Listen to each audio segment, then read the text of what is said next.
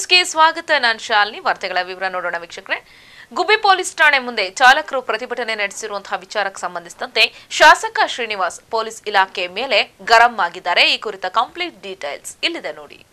ಗುಬ್ಬಿ ಹೆಮ್ಮೆಚ್ ಪಟ್ಟಣ ಬಳಿ ಗುರುವಾರ ಬೆಳಗ್ಗೆ ಹತ್ತು ಗಂಟೆ ಸಮಯದಲ್ಲಿ ಅಪಘಾತವಾಗಿ ಬೈಕ್ ಸವಾರ ಮೃತಪಟ್ಟ ಹಿನ್ನೆಲೆ ಬೆಂಗಳೂರಿನಿಂದ ಚಿಕ್ಕಮಗಳೂರು ಜಿಲ್ಲೆಯ ಲಿಂಗದಹಳ್ಳಿ ರೈತರ ತರಕಾರಿ ಮಾರುಕಟ್ಟೆಗೆ ಸಾಗಿಸಿ ವಾಪಸ್ಸಾಗುತ್ತಿದ್ದ ಮ್ಯಾಕ್ಸಿ ಕ್ಯಾಬ್ ಚಾಲಕ ಶಕೀಲ್ನನ್ನ ತಡೆದು ಶವವನ್ನು ಸಾಗಿಸುವಂತೆ ಗುಬ್ಬಿ ಪಿಎಸ್ಎ ಜ್ಞಾನಮೂರ್ತಿ ತಾಕೀತು ಮಾಡಿದಲ್ಲದೆ ಚಾಲಕ ಶಕೀಲ್ ಮೇಲೆ ದರ್ಪ ತೋರಿದ ಪಿಎಸ್ಎ ಅವರು ವಾಹನವನ್ನು ವಶಕ್ಕೆ ಪಡೆದು ಇಲ್ಲಸಲ್ಲದ ಪ್ರಕರಣ ದಾಖಲು ಮಾಡಿದ್ದಾರೆ.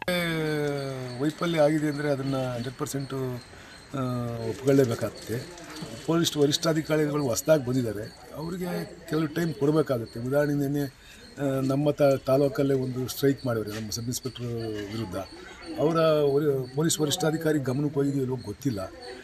ಭ್ರಷ್ಟಾಚಾರದ ವಿರುದ್ಧವಾಗಿ ಸ್ಟ್ರೈಕ್ ಮಾಡೋ ಲೆವೆಲ್ಗೆ ಇವರು ಲಂಚ ಹೊಡಿತಾರೆ ಅಂತಂತಂದರೆ ವೈಫಲ್ಯ ಕಂಡಿದೆ ಅಂತಕ್ಕಂಥದ್ದೇ ಅಲ್ವಾ? ಎಲ್ರಿಗೂ ಗೊತ್ತಿರ್ತಕ್ಕಂಥ ವಿಚಾರ ಅದು. ವೈಫಲ್ಯ ಇದೆ ಪೊಲೀಸ್ ಇಲಾಖೆ. ಅದಕ್ಕೆ ಸರ್ಕಾರ ಜಿಲ್ಲಾಡಳಿತ ಮತ್ತು ಜಿಲ್ಲಾ ಉಸ್ತುವಾರಿ ಸಚಿವರು ಎಂಟನೇ ತಾರೀಕು ಮೀಟಿಂಗ್ ಕರೆದವ್ರೆ.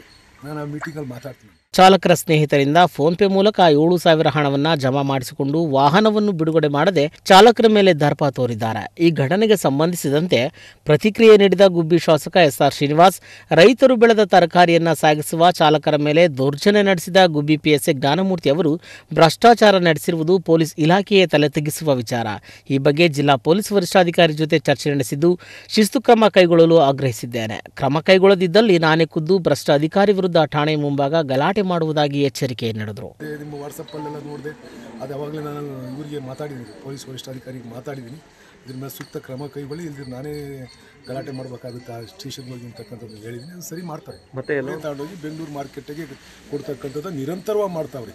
ಸುಮಾರು ಅದೇ ದೊಡ್ಡ ಉದ್ಯೋಗ ಆಗಿರ್ತಕ್ಕಂಥದ್ದು ಅವರಿಗೆ. ಅಂಥವ್ರಿಗೆ ಯಾರಿಗೂ ತೊಂದರೆ ಆಗಬಾರ್ದು. ಅವ್ರು ರೈತರು ಬೆಳೆದಿರ್ತಕ್ಕಂಥ ರೈತರ ಹೊಲದಿಂದಲೇ ಅವರೇ ರೈತರು ತಗೊಂಡೋಗಿ ಬೆಂಗಳೂರು ಮಾರ್ಕೆಟಲ್ಲಿ ಮಾರಿ ಇದ್ದಿದ್ದು ಲಾಭ ತಗೊಂಬರ್ತಕ್ಕಂಥದ್ದು ಅವ್ರು ಮಾಡ್ತಾವ್ರೆ. ಅಂಥವ್ರಿಗೆ ಯಾರು ತೊಂದರೆ ಆಗಬಾರ್ದು ಅದನ್ನು ಆಗಬಾರ್ದು ನಾನು ಸರ್ಕಲ್ ಇನ್ಸ್ಪೆಕ್ಟರ್ ಸಬ್ ಇನ್ಸ್ಪೆಕ್ಟರ್ ಇಬ್ಬರಿಗೂ ಹೇಳ್ತೀನಿ. ಆ ಥರ ಏನಾದ್ರು ತೊಂದರೆ ಆದರೆ ಅವ್ರ ಮೇಲೆ ಕ್ರಮ ಕೈಗೊಳ್ಳಲಿಕ್ಕೆ ನಾನು ಜಿಲ್ಲಾ ವರಿಷ್ಠಾಧಿಕಾರಿ ನರಸಿಂಹಮೂರ್ತಿ ಅಮ್ಮಗು ಟಿವಿ ಗುಬಿ ಭಾರತ ದೇಶದಲ್ಲಿ ಎಂಟುನೂರಕ್ಕೂ ಅಧಿಕ ವಿಶ್ವವಿದ್ಯಾನಿಲಯಗಳಿದೆ. ಆದರೆ ಪ್ರಪಂಚದ ಟಾಪ್ ಹಂಡ್ರೆಡ್ನಲ್ಲಿ ಭಾರತದ ಒಂದೇ ಒಂದು ವಿಶ್ವವಿದ್ಯಾನಿಲಯ ಕೂಡ ಸ್ಥಾನ ಪಡೆದಿಲ್ಲ.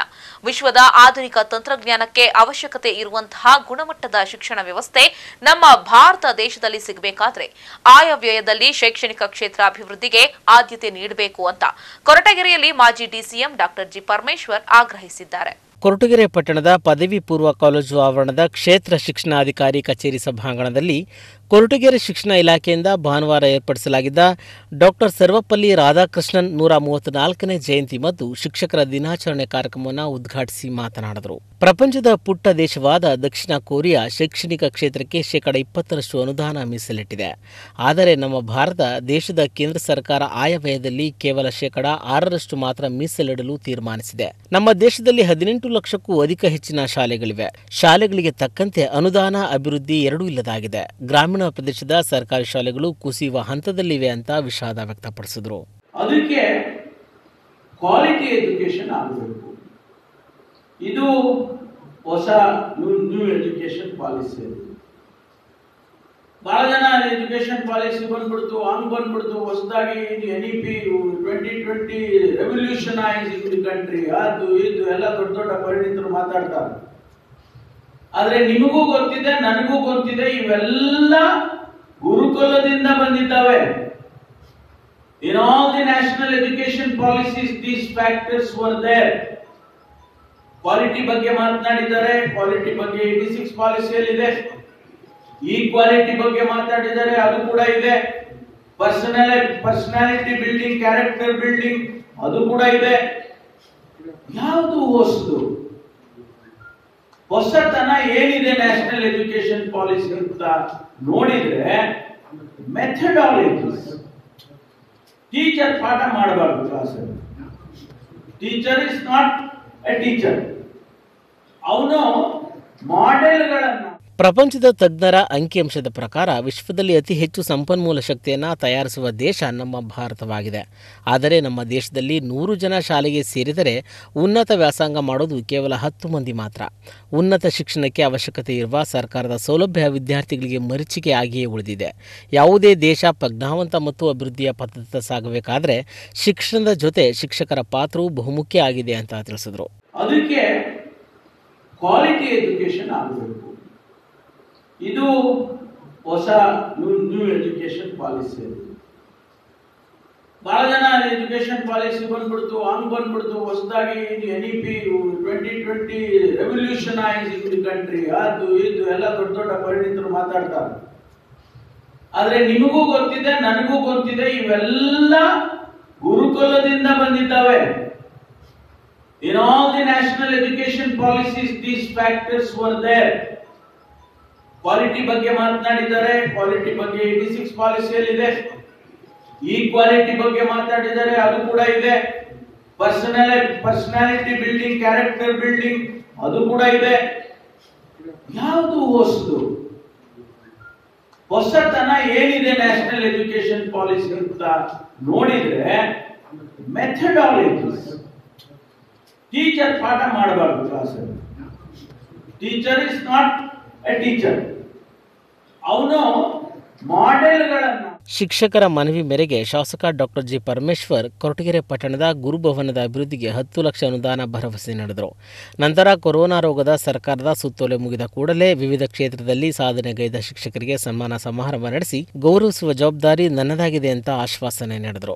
ಕಾರ್ಯಕ್ರಮದಲ್ಲಿ ತಹಶೀಲ್ದಾರ್ ನಾಹಿದ, ತಾಲೂಕು ಪಂಚಾಯತಿ ಇಒ ಶಿವಪ್ರಕಾಶ್ ಬಿಇಒ ಸುಧಾಕರ್, ಪಟ್ಟಣ ಪಂಚಾಯತಿ ಸ್ಥಾಯಿ ಸಮಿತಿ ಅಧ್ಯಕ್ಷ ಕೆ ನಟರಾಜು, ಸದಸ್ಯ ಬಲರಾಮಯ್ಯ, ಸರ್ಕಾರಿ ನೌಕರರ ಸಂಘದ ಅಧ್ಯಕ್ಷ ರುದ್ರೇಶ್, ಪ್ರಾಥಮಿಕ ಶಾಲಾ ಶಿಕ್ಷಕರ ಸಂಘದ ಜಿಲ್ಲಾ ಉಪಾಧ್ಯಕ್ಷ ಪರಮೇಶ್ವರ್ ಇತರರು ಪಾಲ್ಗೊಂಡಿದ್ರು ಎನ್ ಮೂರ್ತಿ ಅಮ್ಮುಗು ಟಿವಿ, ಕೊರಟಗೆರೆ. ಶಿಡ್ಲಘಟ್ಟದ ನಗರದ ಹನ್ನೊಂದನೇ ವಾರ್ಡ್ ಅನ್ನ ಶೇಕಡ ನೂರರಷ್ಟು ಲಸಿಕೆ ಹಾಕಿಸಿಕೊಂಡ ವಾರ್ಡ್ ಅನ್ನಿಸಿಕೊಳ್ಳೋಕೆ ಮೊಬೈಲ್ ಲಸಿಕಾ ತಂಡವನ್ನ ಕರೆಸಿದ್ದು, ಮನೆ ಮನೆಗೆ ಹೋಗಿ ಲಸಿಕೆ ಹಾಕಿಸಿಕೊಳ್ಳದವರಿಗೆ ಲಸಿಕೆ ಹಾಕಿಸ್ತಾ ಇದ್ದೇವೆ ಅಂತ ನಗರಸಭೆ ಸದಸ್ಯ ಎಲ್ ಅನಿಲ್ ಕುಮಾರ್ ತಿಳಿಸಿದ್ದಾರೆ. ನಗರದ ಹನ್ನೊಂದನೇ ವಾರ್ಡಿನಲ್ಲಿ ತಾಲೂಕು ಆರೋಗ್ಯ ಸಿಬ್ಬಂದಿ ಮನೆ ಮನೆಗೆ ತೆರಳಿ ಅಲ್ಲಿಯೇ ಲಸಿಕೆ ಹಾಕುವ ಕಾರ್ಯಕ್ರಮದಲ್ಲಿ ಅವರು ಮಾತನಾಡಿದರು. ಹನ್ನೊಂದನೇ ವಾರ್ಡ್ನಲ್ಲಿ ಶೇಕಡ ಎಂಬತ್ತೆಂಟರಷ್ಟು ಮಂದಿ ಲಸಿಕೆ ಹಾಕಿಸಿಕೊಂಡಿದ್ದಾರೆ. ಇನ್ನುಳಿದ ಶೇಕಡ ಹನ್ನೆರಡರಷ್ಟು ಅಂದರೆ ಎಂಬತ್ತು ಮಂದಿಗೆ ಅವರ ಮನೆಗಳಿಗೆ ಹೋಗಿ ಲಸಿಕೆ ಹಾಕಿಸುತ್ತಿದ್ದೇವೆ. ಎರಡನೇ ಡೋಸ್ ಹಾಕಿಸಿಕೊಳ್ಳುವವರಿಗೂ ಲಸಿಕೆ ಹಾಕಿಸುತ್ತಿದ್ದೇವೆ.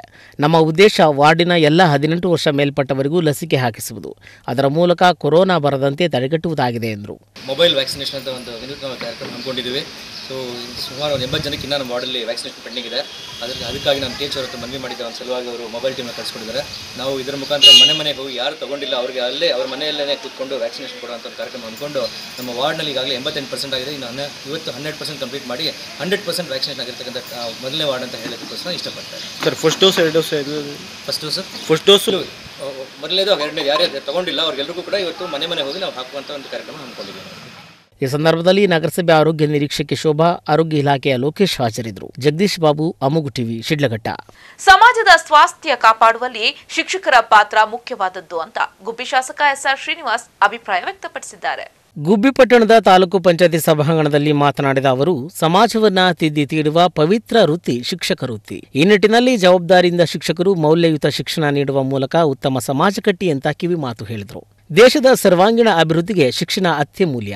ಇಂತಹ ಶಿಕ್ಷಣ ವ್ಯವಸ್ಥೆಯನ್ನು ನಮ್ಮ ದೇಶದ ವ್ಯವಸ್ಥೆಯನ್ನು ಅಳವಡಿಸಿಕೊಂಡರೆ ಮಾತ್ರ ದೇಶದ ಅಭಿವೃದ್ಧಿ ಸಾಧ್ಯ ಎಂದ ಅವರು, ಶಿಕ್ಷಣ ಸಚಿವರಾದ ನಾಗೇಶ್ ಅವರು ರಾಜ್ಯದ ಅಂತರ್ಜಿಲ್ಲೆಗೆ ವರ್ಗಾವಣೆ ಕೈಗೆತ್ತಿಕೊಂಡಿರುವುದು ಸ್ವಾಗತಾರ್ಹ ಎಂದರು ಇರ್ತಕ್ಕಂಥ ಶಕ್ತಿ ಯಾರಿಗಾದ್ರೂ ಇದೆ ಅಂತಂದ್ರೆ ಯಾವುದೇ ಅಧಿಕಾರದಲ್ಲಿರ್ತಕ್ಕಂಥವ್ರಿಗಿಲ್ಲ ಐತೆ ಅಂತ ಭಾವಿಸ್ಬೇಡಿ ನೀವು ಒಳ್ಳೆ ಸರ್ವಪಲ್ಲಿ ರಾಧಾಕೃಷ್ಣರವರು ಈ ಶ್ರೇಷ್ಠ ಮಟ್ಟಕ್ಕೆ ಹೋಗಿ ಹೋಗ್ಲಿಕ್ಕೆ ಕಾರಣ ಅಂತಂದ್ರೆ ಅವರಲ್ಲಿ ಇರ್ತಕ್ಕಂಥ ಇಚ್ಛಾಶಕ್ತಿ ಪ್ರಾಮಾಣಿಕತೆ ಅವರಲ್ಲಿ ಇ- ಇದೇ ರೀತಿ ಬದುಕಬೇಕು ಅಂತಕ್ಕಂಥ ಒಂದು ಗುರಿ ಇರ್ತಕ್ಕಂಥದ್ದು ಆ ಗುರಿಯನ್ನು ತಲುಪ ತಲುಪಲಿಕ್ಕೆ ಬೇಕಾಗಿರ್ತಕ್ಕಂಥ ಪ್ರಾಮಾಣಿಕತೆ ನಮ್ಮಲ್ಲಿರ್ತಕ್ಕಂಥದ್ದು ಅವೆಲ್ಲವನ್ನ ಇಟ್ಕೊಂಡು ಹೋದಾಗ ಮಾತ್ರ ಒಬ್ಬ ಶಿಕ್ಷಕರಿಗೆ ಒಳ್ಳೇದಾಗುತ್ತೆ ಅಂತಕ್ಕಂಥದ್ದನ್ನ ನೀವೆಲ್ಲರೂ ಕೂಡ ಭಾವಿಸ್ಬೇಕಾಗುತ್ತೆ ನಾನು ಅನ್ಕೊಂಡಿದ್ದೀನಿ ನಮ್ಮ ತಾಲೂಕಿನಲ್ಲಿ ಇರ್ತಕ್ಕಂಥ ಎಲ್ಲ ಶಿಕ್ಷಕರು ಒಳ್ಳೇದು ಅಂತ ನಾನು ಭಾವನೆ ಇಟ್ಕೊಂಡಿದ್ದೀನಿ ನಾನು ಯಾರು ಆ, ಕೆಟ್ಟರು ಒಳ್ಳೆಯದು ನೀವೇನೇ ತಪ್ಪು ಮಾಡಿ ನನಗೆ ಗೊತ್ತಿದ್ರು ನಾನು ಯಾವತ್ತೂ ತಿರುಗಿಸಿ ನಿಮ್ಮನ್ನ ಕೇಳಿಲ್ಲ ನೀವು ತಪ್ಪು ಮಾಡ್ತಾ ಇದ್ದೀಯ ಅಂತ ಕೇಳಿ ಯಾವತ್ತಾರ ಒಂದು ದಿವಸ ನಿಮ್ಮ ಮನಸ್ಸಿಗೆ ಪರಿವರ್ತನೆ ಆಗುತ್ತೆ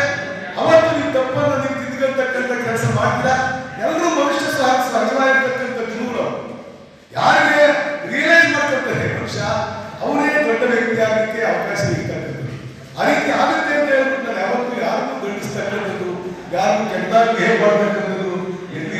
ಯಾವತ್ತೂ ಮಾಡ್ತಕ್ಕಂಥ ಕೆಲಸವನ್ನ ಎಲ್ಲರೂ ಮಾಡಿಲ್ಲ. ಮುಂದೂ ಕೂಡ ಮಾಡಲ್ಲ. ಅದಕ್ಕೆ ನೀವು ತಾಲೂಕಿಗೆ ಕೀರ್ತಿ ತಕ್ಕಂಥ ರೀತಿಯಲ್ಲಿ ಶಿಕ್ಷಕರು ಎಲ್ಲರೂ ಕೂಡ ನೀವು ಕೆಲಸ ಮಾಡಿರ್ತಕ್ಕಂಥದ್ದನ್ನ ನಾನು ಎಲ್ಲರಲ್ಲಿ ಮನವಿ ಮಾಡಲಿಕ್ಕೆ ಬಯಸ್ತೀವಿ ಯಾಕೆಂದ್ರೆ, ಈಗಾಗಲೇ ಕೋವಿಡ್ ಇತ್ತು. ಕೋವಿಡ್ ಸಂದರ್ಭದಲ್ಲಿ ಅನೇಕ ಶಿಕ್ಷಕರು ಕಷ್ಟಕ್ಕೆ ಕಷ್ಟ ತಲುಪಿಸಿರ್ತಕ್ಕಂಥದ್ದು ಅದರಿಂದ ಸಾವನ್ನಪ್ಪಿರ್ತಕ್ಕಂಥದ್ದು ನಮ್ಮ ಸಚಿವರುಗಳು ಪಾಪ ನಮ್ಮೆಲ್ಲರಿಗೂ ಆತ್ಮೀಯತೆಯಿಂದ ಇದ್ದಂಥ ಮನುಷ್ಯ ಅವ್ರಿಗೂ ಕೂಡ ಕೋವಿಡ್ ಬಂದು ಅವರು ಸತ್ತೋಗಿದ್ದಂಥದ್ದು ಅಂತ ಸಂದಿಗ್ಧ ಪರಿಸ್ಥಿತಿಯಲ್ಲೂ ಕೂಡ ನೀವು ಮಕ್ಕಳಿಗೆ ಒಳ್ಳೆ ಶಿಕ್ಷಣ ಕೊಡ್ತಕ್ಕಂಥ ಆನ್ಲೈನ್ ಶಿಕ್ಷಣ ಕೊಡ್ತಕ್ಕಂಥ ಅನೇಕ ಸರ್ಕಾರಿ ಕಾರ್ಯಕ್ರಮಗಳನ್ನು ಅನುಷ್ಠಾನಗೊಳಿಸ್ತಕ್ಕಂಥದ್ದನ್ನ ಮಾಡಿದೆ ನೀವು ಮುಂದೆ ಇವತ್ತಿನಿಂದ ನಿಮಗೆ ಶಾಲೆ ಪ್ರಾರಂಭ ಆಗಿದೆ ಸಿಕ್ಸ್ತಿಂದ ಇವತ್ತು ಪ್ರಾರಂಭ ಆಗುತ್ತೆ ನಾಳೆ ಪ್ರಾರಂಭ ಆಗುತ್ತೆ ಸೋಮವಾರದಿಂದ ಇವತ್ತು ಮುಂದೆ ಇರ್ತಕ್ಕಂಥದ್ದು ನಿಮಗೆ ಚಾಲೆಂಜಿಂಗ್ ಆಗಿರ್ತಕ್ಕಂಥದ್ದು ಇನ್ನು ಮುಂದೆ ಯಾಕೆಂದ್ರೆ ಕಳೆದ ಎರಡು ಒಂದೂವರೆ ವರ್ಷದಿಂದ ಶಿಕ್ಷಕರಿಗೆ ಪಾಠ ಪ್ರವಚನಗಳನ್ನೇ ಮಾಡಲಿಕ್ಕೆ ಆಗಿಲ್ಲ ಅಂತ ವ್ಯವಸ್ಥೆಗಳಿಗೆ ಬರ್ತಕ್ಕಂಥ ದಿನಗಳಲ್ಲಿ ಉತ್ತಮ ಮಟ್ಟ ಗುಣಮಟ್ಟದ ಶಿಕ್ಷಣವನ್ನ ಕೊಡಲಿಕ್ಕೆ ನೀವೆಲ್ಲರೂ ಕೂಡ ಹೆಚ್ಚಿನ ಒತ್ತು ಕೊಟ್ಟು ತಾಲೂಕಿನಲ್ಲಿ ಕೆಲಸ ಮಾಡಬೇಕು ಅಂತ ಹೇಳ್ಬಿಟ್ಟು ಎಲ್ಲ ಶಿಕ್ಷಕ ಬಂಧುಗಳಲ್ಲಿ ನಾನು ವಿನಂತಿ ಮಾಡ್ಕೊಳ್ಳಿಕ್ಕೆ ಬಯಸ್ತೀನಿ ಕಾರ್ಯಕ್ರಮದಲ್ಲಿ ಕ್ಷೇತ್ರ ಶಿಕ್ಷಣಾಧಿಕಾರಿ ಸೋಮಶೇಖರ್, ಇಒ ನರಸಿಂಹಯ್ಯ, ಅಕ್ಷರ ದಾಸೋಹ ಯೋಗಾನಂದ, ಪಟ್ಟಣ ಪಂಚಾಯತಿ ಅಧ್ಯಕ್ಷ ಅಣ್ಣಪ್ಪ ಸ್ವಾಮಿ, ಸದಸ್ಯರಾದ ಶಿವಕುಮಾರ್, ಶಶಿಕುಮಾರ್, ರೇಣುಕಾ ಪ್ರಸಾದ್ ಹಾಗೂ ಇತರರು ಪಾಲ್ಗೊಂಡಿದ್ದರು. ನರಸಿಂಹಮೂರ್ತಿ ಅಮುಗ್ ಟಿವಿ ಗುಬಿ ಶಿಡ್ಲಘಟ್ಟ ತಾಲೂಕಿನಲ್ಲಿ ಹದಿನೆಂಟು ವರ್ಷ ಮೇಲ್ಪಟ್ಟ ಪ್ರತಿಯೊಬ್ಬರು ಕೂಡ ಕೋವಿಡ್ ಲಸಿಕೆ ಹಾಕಿಸಿಕೊಳ್ಬೇಕು ಅಂತ ಶಾಸಕ ವಿ ಮುನಿಯಪ್ಪ ಹೇಳಿದ್ದಾರೆ. ಈ ಕುರಿತ ಒಂದು ವರದಿ ನಿಮಗಾಗಿ. ಲಸಿಕೆ ಹಾಕಿಸಿಕೊಳ್ಳುವುದರ ಮೂಲಕ ಈ ಕೊರೋನಾ ಮಹಾಮಾರಿ ಬರದಂತೆ ತಡೆಗಟ್ಟಬೇಕು. ಅದಕ್ಕಾಗಿ ತಾಲೂಕು ಆಡಳಿತ ಮತ್ತು ಆರೋಗ್ಯ ಇಲಾಖೆ ವಿವಿಧ ಇಲಾಖೆಗಳ ಸಹಕಾರದೊಂದಿಗೆ ಲಸಿಕೆ ಆಂದೋಲನವನ್ನು ಸಮರೋಪಾದಿಯಲ್ಲಿ ನಡೆಸುತ್ತಿದ್ದಾರೆ ಅಂತ ಶಾಸಕ ವಿ ಮುನಿಯಪ್ಪ ತಿಳಿಸಿದರು. ನಗರದ ಮೂರನೇ ವಾರ್ಡ್ನ ಅಂಗನವಾಡಿ ಕೇಂದ್ರ ಹಾಗೂ ನಗರದ ಗ್ರಂಥಾಲಯದಲ್ಲಿ ಭಾನುವಾರ ಕೋವಿಡ್ ಲಸಿಕಾ ಆಂದೋಲನ ಕಾರ್ಯಕ್ರಮಕ್ಕೆ ಚಾಲನೆ ನೀಡಿ ಅವರು ಮಾತನಾಡಿದರು.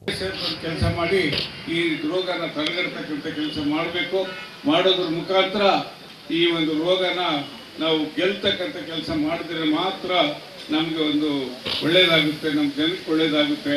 ಆ ಕೆಲಸನ ಎಲ್ಲರೂ ಎರಡೆರಡು ಗಂಟೆ ಹೊತ್ತು ಬಿಟ್ಟು ಯಾವಾಗಲೂ ವೇಸ್ಟ್ ಆಗೋದು ಬಂದು ಸಂಜೆ ಆರು ಗಂಟೆಯಿಂದ ಒಂಬತ್ತು ಗಂಟೆವರೆಗೂ ಮನೆಯಲ್ಲಿ ಎಲ್ಲರೂ ಇರ್ತಕ್ಕಂಥ ಸಂದರ್ಭ.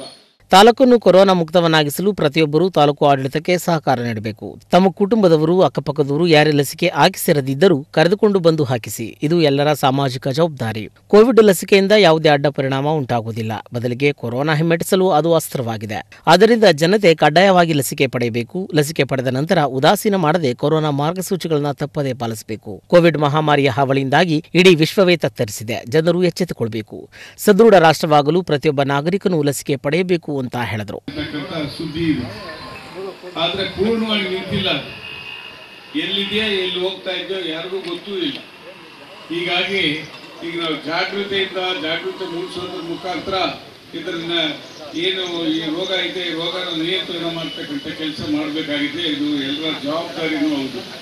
ಇಂಥ ಒಂದು ಸಂದರ್ಭದಲ್ಲಿ ಎಲ್ಲರನ್ನೂ ನಾವು ಅವರು ಜಾಗೃತಿಗೊಳಿಸ್ತಕ್ಕಂಥದ್ದು ಮತ್ತು ಅವರ ಆಜು ಬಾಜಿನ ಜ್ಞಾಪಕ ಮಾಡ್ತಕ್ಕಂಥದ್ದು ಯಾರು ಒಂದಲ್ಲ. ನಗರಸಭೆ ಪೌರಾಯುಕ್ತ ಶ್ರೀಕಾಂತ್ ಆರೋಗ್ಯ ನಿರೀಕ್ಷಕಿ ಶೋಭಾ ನಗರಸಭೆ ಸದಸ್ಯೆ ಚೈತ್ರಾ ಮನೋಹರ್ ಎಲ್ ಅನಿಲ್ ಕುಮಾರ್ ಕೃಷ್ಣಮೂರ್ತಿ ರಿಯಾಜ್ ತಾಲೂಕು ಆರೋಗ್ಯಾಧಿಕಾರಿ ಡಾಕ್ಟರ್ ವೆಂಕಟೇಶ್ ಮೂರ್ತಿ ಡಾಕ್ಟರ್ ಗುರು ಸಿಬ್ಬಂದಿ ಮಂಗಳ ನಗರಸಭೆ ಸಿಬ್ಬಂದಿ ಮುರುಳಿ ಹಾಜರಿದ್ದರು. ಜಗದೀಶ್ ಬಾಬು ಅಮುಕ್ ಟಿವಿ ಶಿಡ್ಲಘಟ್ಟ. ಇದಿಷ್ಟೇ ಇವರೆಗಿನ ಪ್ರಮುಖ ಸುದ್ದಿ ಅಮುಕ್ ಟಿವಿ ಎಂದೆಂದಿಗೂ ನಿಮ್ಮೊಂದಿಗೆ.